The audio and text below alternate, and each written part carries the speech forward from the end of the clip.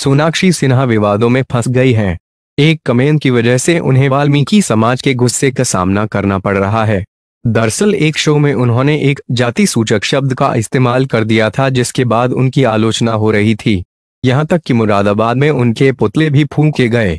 मामले को बढ़ता देख सोनाक्षी को माफ़ी भी मांगनी पड़ गई है। सोनाक्षी ने कहा, अनजाने में हुई गलती। सोनाक्षी ने सोशल मीडिया पर लिखा, सिद्धार्थ कानन को 23 जुलाई 2019 को दिए इंटरव्यू के संदर्भ में मैं यह कहना चाहूँगी कि मैं वाल्मीकि समाज का बहुत सम्मान करती हूँ। समाज और देश के प्रति उनके योगदान का भी सम्मान करती हूँ।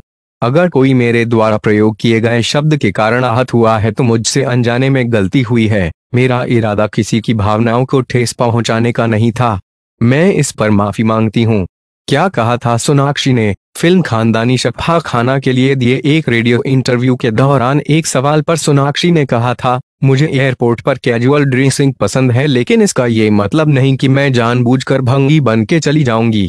सोनाक्षी जल्द ही 15 अगस्त को रिलीज़ होने जा रही फ़िल्म मिशन मंगलवार में नज़र आएँगी।